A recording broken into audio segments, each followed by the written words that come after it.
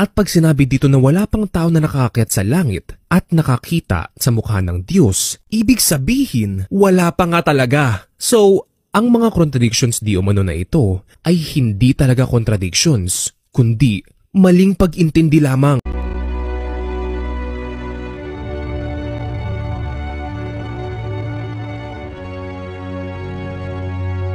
Si Moses ang nagre-represent sa law, si Elijah naman sa prophets, at ang ating Panginoong Jesus ang siyang katuparan ng law and prophet.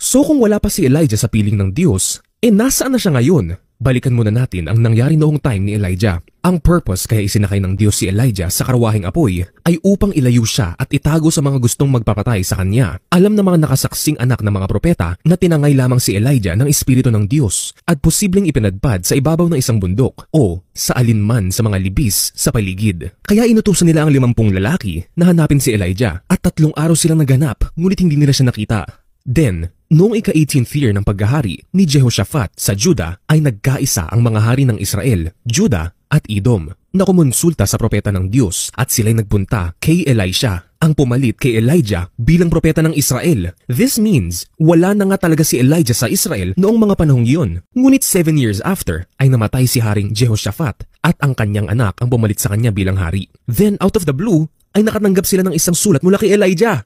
So, kung nakapagpadala pa ng sulat si Elijah 7 years after niya mawala, ibig sabihin nandito pa siya sa lupa at wala sa piling ng Diyos. Actually, hindi po ito ang unang beses na tinangay si Elijah ng Espiritu ng Diyos. Dahil kung mabasahin mo ang 1 Kings chapter 18 verse 7 to 16, ipinahanap ni Jezebel ang mga propeta ng Diyos upang patayin. Ngunit si Elijah ay hindi nila mahanap kahit saan sapagkat dinadala siya ng Espiritu ng Diyos sa lugar na hindi nila alam. Parang ganito rin po ang nangyari kay Philip, isa sa seven men of honest report na pinili ng 12 apostles. Right after ng pagbautismo ni Philip sa eunuch na taga-Ethiopia, ay kinuha agad siya ng Espiritu ng Diyos at hindi na nakita pa ng eunuch.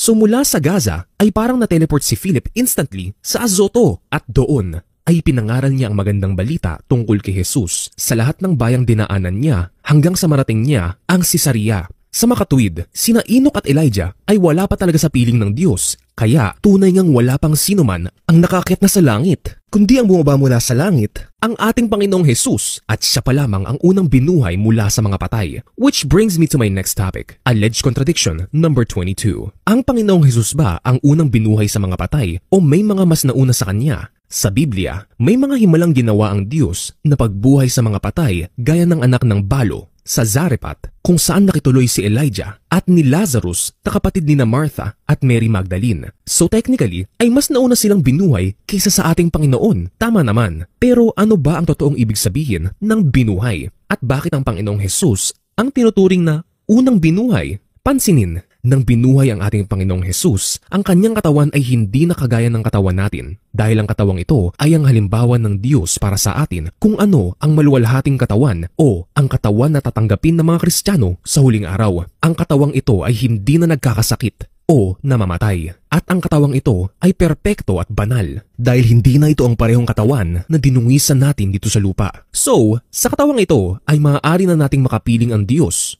dahil ang Diyos ay banal ang tanong, nang binuhay ba muli ang anak ng balo at si Lazarus, ganito rin ba ang kanilang naging katawan? Hindi, di ba? At dahil hindi pa sila nakatanggap ng maluwalhating katawan, definitely, ay namatay pa rin sila ulit physically at kasalukuyang nasa Hades o daigdig ng mga patay. So bakit pa sila binuhay muli ng Diyos kung mamamatay lang sila ulit physically? Actually, sa case ni Lazarus, alam ni Martha na ang resurrection ay sa huling araw pa mangyayari. Ngunit upang maniwala ang mga Hudyo na totoong sinugo ng Diyos Ama ang ating Panginoong Hesus, ay ipinamalas ng Diyos ang isang pambihirang himala. Binuhay niya ang isang taong apat na araw ng patay. Ganon din po sa case ng anak ng balo sa Zarephath. Muling binuhay ng Diyos ang bata sa pamamagitan ni Elijah upang malaman ng balo na si Elijah ay tunay na propeta ng Diyos at ang salita ng Panginoon sa kanyang bibig ay katotohanan. I hope by now ay malinaw na sa atin na wala pa nga talagang tao na nakakakit sa langit. Kahit pa si Mary na ina ni Jesus ay wala pa sa langit. Kaya kahit anong dasal mo sa kanya o sa kahit kanino pang santo ay hindi nila maririnig at hindi rin nila mapaparating sa Diyos. Pero kung wala pang ang tao sa langit, eh sino ang 24 elders?